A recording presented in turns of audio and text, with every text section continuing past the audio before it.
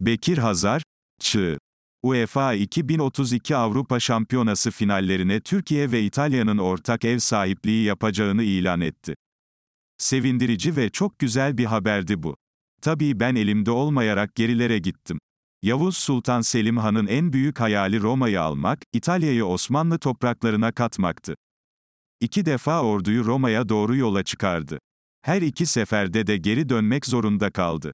Çünkü İran her ikisinde de Osmanlı topraklarına girip Erzurum'a kadar girdi. Yani arkadan hançerledi. O yüzden Yavuz Sultan Selim Han, doğuyu halletmeden, batı fethedilemeyecek diyerek geri döndü. İran'ı halledip, tüm İslam dünyasını tek sancak altında topladı. Eğer İran fitne çıkarmasaydı, bugün belki de Roma'nın, hatta tüm Avrupa'nın Osmanlı İmparatorluğu sınırları içindeki varoluşunu konuşacaktık. Osmanlı sancağı altında huzur içinde güvenle, adaletle yaşayan Orta Doğu'da bugün en büyük fitnenin başını çekenler İran ve S. Arabistan'dır.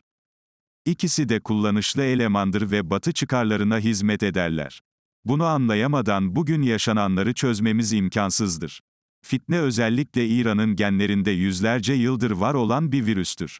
Suudların da onlardan bir farkı yoktur. ABD'ye 11 Eylül saldırısını Suudiler yaptı. Vehhabi örgüt El-Kaide'nin lideri Usame Bin Laden'in talimatıyla Dünya Finans Merkezi ikiz kuleler vuruldu. BBC, o dönemlerde bir röportaj yayınladı.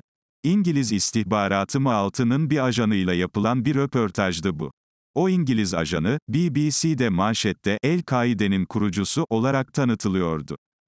Yani tüm bu olayları birbirine bağladığımızda İngiliz istihbaratından ajanın kurucusu olduğu Vehhabi ve Suudi örgüt El-Kaide, ABD'ye saldırıyordu.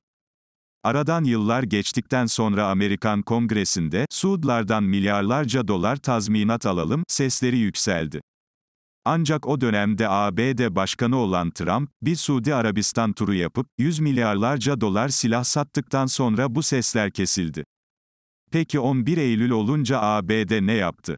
İngiliz ajanının kurduğu El-Kaide'nin Suudi üyelerine aldırış etmeksizin, olayda hiçbir dahli olmayan Irak'a ve Afganistan'a daldı. Saddam'ı suçladı ikiz kule saldırıları nedeniyle. Bir de, kimyasal silah var, yalanı uydurdular. Bu yalan resmi açıklama ile tescillendi. Bizzat İngiltere'nin o dönemdeki başbakanı Tony Blair yaptı bu açıklamayı. Irak'ta kimyasal silah var, raporunu biz hazırladık. Yalandı. Özür dileriz, dedi. Tabii Irak'a dalmadan önce ön hazırlık yaptılar. En iyi kullandıkları, bugün düşman gibi görünüp aslında ABD çıkarlarına en iyi hizmet eden İran'ı öne sürdüler. Önce Hümeyni'yi Fransa'da besletip büyüttüler. Ardından petrolleri devletleştiren Şah'ı devirip, koltuğuna oturttular. CIA ajanı ile bir röportaj yayınlamıştık A Haber'de Yazboz'da. Hümeyni'yi İran'a devlet başkanlığı koltuğuna götüren uçakta en arkada CIA ajanları oturuyordu, diyordu. O İran'ı Irak üzerine sürüp tam 8 yıl savaştırdılar. Böylece Irak ordusu yerle bir edildi. Ardından ellerini kollarını sallayarak ve 11 Eylül'ü bahane ederek Irak'a girdiler. Bu ülkede, İran'a kendini yaslayan bir Şii yönetim gücü kurarak, Tahran'ı adeta ödüllendirdiler. ABD ve İsrail'in en büyük düşmanı gözüken İran'ın, bugüne kadar onlara tek bir saldırı yaptığını görmedik. Ancak Orta Doğu'da nerede parçalanacak ülke varsa, orada İran ve Suudlar vardı. Yemen'deki iç savaşta ve başroldeki iki ülke yine Suudlar ve İran'dı. Suriye'deki parçalanmada da İran vardı. Suriye'de hortlayan DEAŞ da Suudi kökenli Vehhabiydi. Bugün İsrail-Filistin çatışmasına da İsrail'in 11 Eylül'ü yorumları yapılıyor.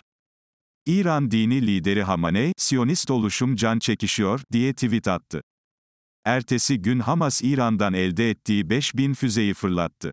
Orta Doğu bir kez daha alev topuna dönerken, iktidardan sokak ayaklanmaları nedeniyle düşürülmek üzere olan Netanyahu, bu bir savaş diyerek Orta Doğu'da haritaların değişeceğini ilan etti. Gazze'de şu an her gece yüzlerce kadın ve çocuk ölüyor. Zulümden gelen korkunç feryatlar araştırma alaya çıkıyor. O yüzden zalimlerin kazanma şansı yok. Dualarımız masum Filistin halkı için. İsrail televizyonu bir kadınla röportaj yayınladı. Filistinli bir grup evlerine gelmiş.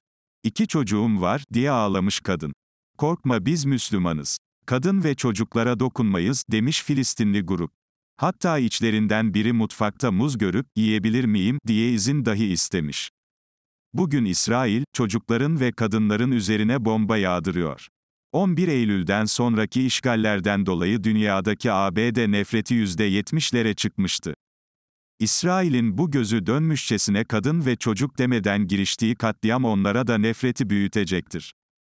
Osmanlı ve Türkiye gittiği her yerde zulüm yapmadı tam tersine şefkat elini uzatıp, adaletle, merhametle herkesi kucakladı. O yüzden bize olan sevgi her geçen gün çığ gibi büyüyor. Gönül coğrafyamızdaki zulümler, her geçen gün milyonlarca halkları bize yaklaştırıyor. İçimizdeki zulmü alkışlayan batı aşığı ve devlet düşmanı iddiatçı kafalara rağmen hem de